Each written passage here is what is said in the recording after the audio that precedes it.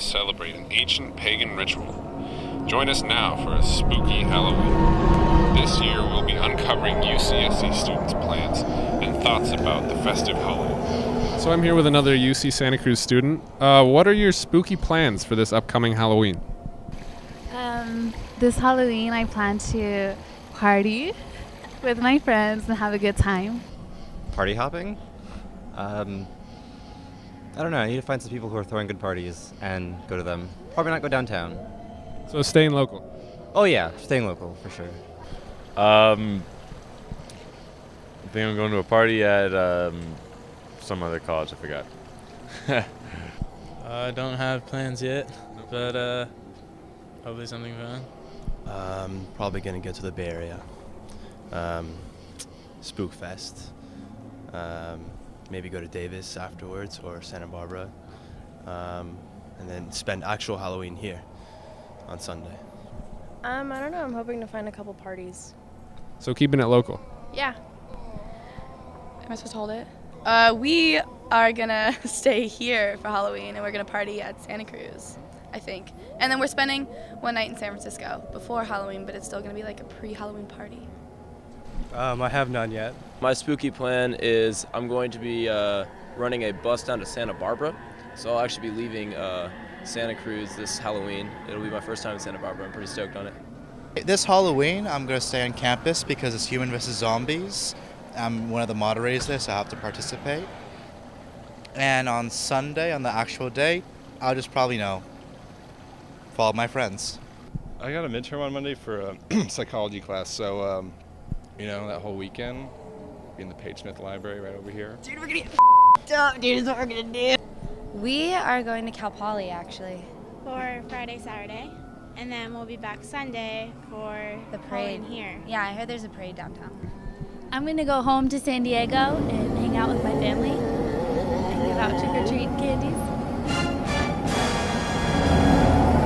There seems to be a variety of plans, both in and out of Santa Cruz. But how about costume plans? I was thinking Wolverine, Wolverine. maybe.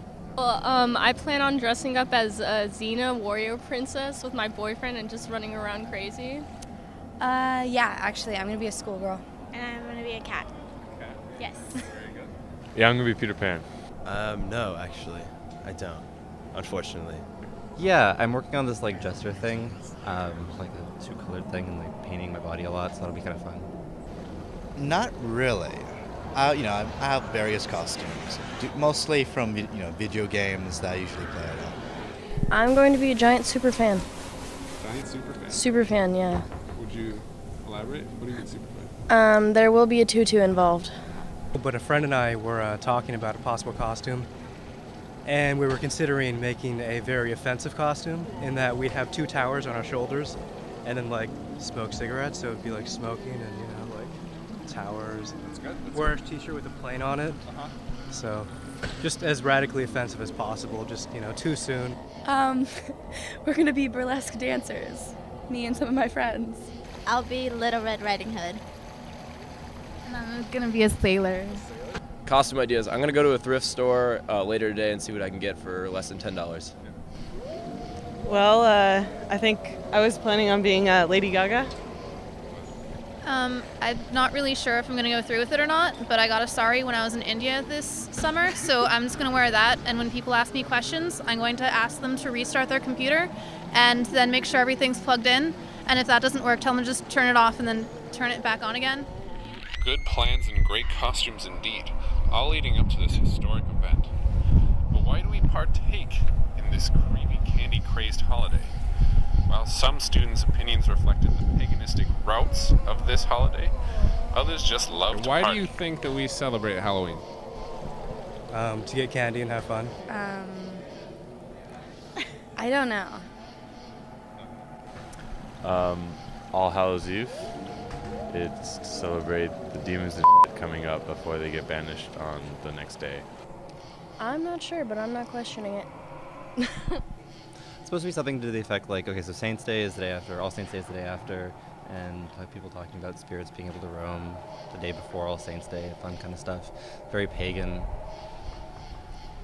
I celebrate it because it's my birthday, but I mean, whatever. Well, I believe that was a, it was a pagan ritual in uh, Ireland. I don't know, dress up and have fun with another kind of character idea and have fun, party. Um, it's a harvest festival, sort of a deal. So, and then it turned into costumes somehow. Capitalism. Um, to buy candy and have fun. Um, I don't know. The cultural roots have definitely been been lost a while ago. I think we celebrate Halloween not only just to have like a good time, but also like to just go out there and spend time with your friends and I guess yeah. So what do you have to say about it? Yeah, you agree? I must agree. Regardless of the meaning of Halloween, it is fun to get together and enjoy people that you care about. It is good to see the variety of plans within the UCSC student body, and it looks like this Halloween is shaping up to be one of epic proportions.